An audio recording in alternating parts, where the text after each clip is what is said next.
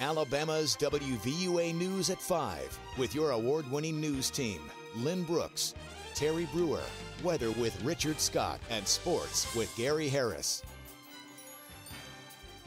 Coming up in home team weather, it is hot on this Tuesday afternoon. 84 in Tuscaloosa, 84 back in Reform, 83 in Birmingham. What about the rest of the week in terms of temperatures, and how about some rain chances by the weekend? Your forecast is coming up. Today marks 11 months since Alabama was hit with the April 27th storms. Then we'll hear from Tuscaloosa Mayor Walt Maddox about what's happened since and what is to come. And Tuscaloosa's new river market is now complete, but when you can when can you start picking up your local produce? We'll have the answer. Thanks for joining us tonight. I'm Lynn Brooks. And I'm Terry Brewer. Tomorrow, today marks 11 months since the April 27th storms ripped through Alabama, destroying a large part of the city of Tuscaloosa and also affecting Tuscaloosa County. The question now, where does Tuscaloosa stand in this recovery process? Tuscaloosa Mayor Walt Maddox sat down with WVUA this afternoon. His thoughts on the process of Tus progress of Tuscaloosa are in our top story at 5. Mayor Maddox says the city is moving forward faster and stronger than he had anticipated. Maddox says almost all debris has been removed from the city of Tuscaloosa and nearly 3,000 building permits and almost 2,000 residential permits have been issued. Maddox says the city is working to get the final debris removed by the one-year milestone, but he wants Tuscaloosa residents to remember the recovery process will take time. It's too easy in this day of 30 second sound bites and, and brief comments to say, to measure things in short increments. Let's wait where we are. Let's see where we are at one year, then let's see where we are at three years, and then let's see where we are at five years. Because that'll be the ultimate test of whether we got it right or we got it wrong. We'll have much more on this 11-month milestone, milestone since the storms, including the mayor's thoughts on the recovery process and what's still to come before the one-year mark. That's tonight on WVUA News at 6. Continuing our coverage of storm recovery, it's a new beginning for Tuscaloosa's Rosedale Court. Construction of Phase 1's 88 units started this morning. More than half of the public housing community's 188 units were destroyed April 27th. Officials say since the storm, the U.S. Department of Housing and Urban Development recognized Rosedale as a top priority. Quality of living and, and just overall aesthetics of the projects. And, you know, it's just good for the city and it's good for the tenants and it's, you know, it's also good for us. Officials say phase two of Rosedale's revitalization will include 86 units the Alabama Housing Finance Authority is expected to announce a decision on the project in June. Well, the new Tuscaloosa River Market is now officially open for business. It sits on Jack Warner Parkway next to the Black Warrior River. Now, the site will serve as the new farmers market and also for other events like weddings, receptions, and reunions. Manager of the River Market, Christy Bobo, says they spent more than $200,000 in furniture, fixtures, and equipment Director Wendy Riggs told WVUA the new river market will offer something to Tuscaloosa residents no matter what their age. I think it's a, a, big part of live, work, and play. And what I think is that we're going to have more people come down here. We've made this a Wi-Fi hotspot so students can come down here and study. We'll be open every Tuesday through Saturday. And the only time we'll close down is if we have a special private event here The first farmers market will be held one week from today, Tuesday, April 3rd. On Education Watch, salary for Tuscaloosa County's new superintendent.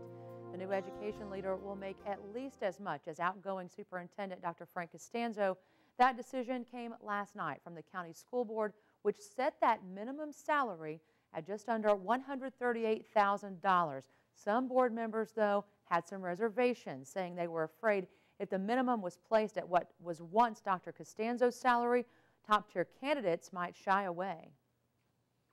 Now the countdown is on for the 2012 Air Show. That's right, it's set for this weekend at the Tuscaloosa Regional Airport. The show features the U.S. Navy Blue Angels, Golden Knights parachute team, and much more.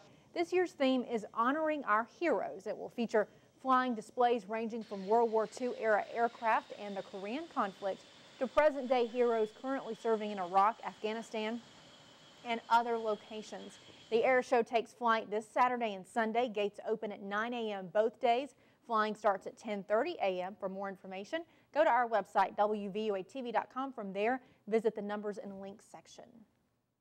It's a decision that could impact virtually every American. The Supreme Court is now taking up President Obama's health care reform. Few political issues are anything like this one.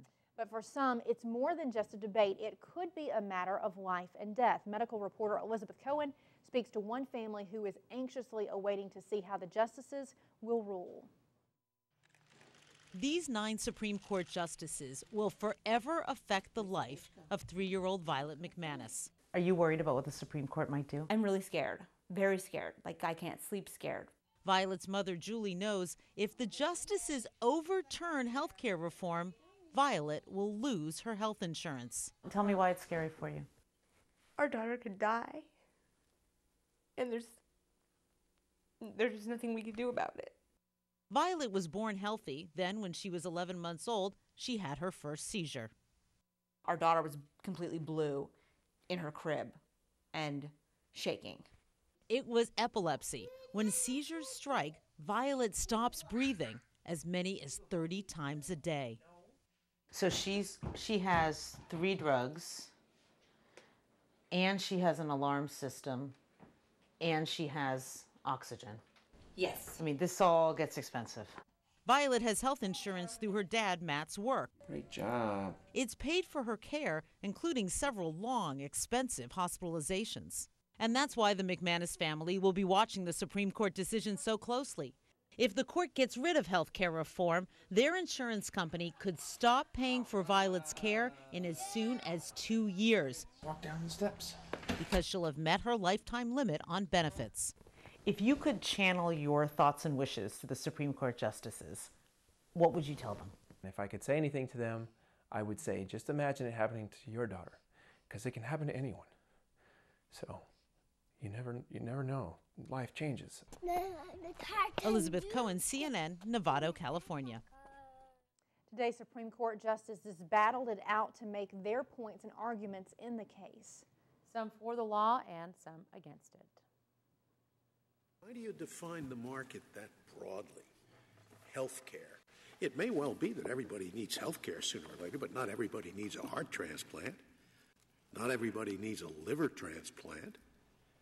Why, That's correct, why- Justice I mean, Scalia, but you never know whether Could, you're could, going to could be you that define the market? Everybody has to buy food sooner or later, so you define the market as food. Therefore, everybody's in the market. Therefore, you can make people buy broccoli. The U.S. Supreme Court is looking at whether the government can make you buy health insurance and slap a fine on those who don't comply. Today was the second of three sessions.